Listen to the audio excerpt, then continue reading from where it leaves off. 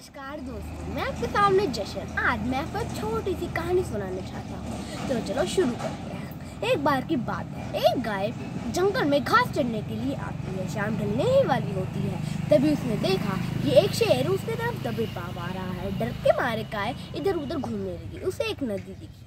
घबराई हुई गाय उसके अंदर घुस गई। शेर भी उसका पीछा करते हुए उसके अंदर घुस गया। उस नदी नदी में पानी कम और कीचड़ ज़्यादा था, इसलिए वह दोनों डूबने लगे। गाय ने तभी उससे पूछा, क्या तुम्हारा कोई मालिक या गुरु है? शेर ने ना कहा। उसने कहा कि, मैं खुद जंगल का मालिक हूँ, मुझे किसी की ज़रूरत नहीं। गाय ने कहा, पर तुम्हारी शक्ति का यहाँ पर क्या उपयोग है? शेर ने कहा कि, तुम भी तो मरने के करीब हो, तुम भी तो मेरे साथ यहाँ पर फंसी हुई हो। गाय ने मुस्कुराहट के साथ कहा, बिल्कुल नहीं।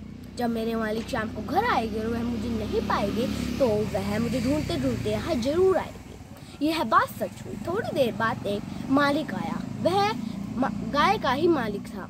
उसने गाय को बचाया और घर लेकर चले गए। वह घर दो वह दोनों घर चले गए। तो इस कहानी से हमको यह सीख मिलती है कि हमको कभी घमंड नहीं करना चाहिए। जैसे कि मैं ही सब कुछ हूँ, मुझे किसी की ज़रूरत नहीं। यह अहंकार का प्रतीक है।